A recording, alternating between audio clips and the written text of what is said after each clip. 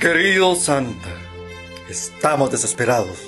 Nuestro hogar se está convirtiendo en un basurero, en una trampa mortal.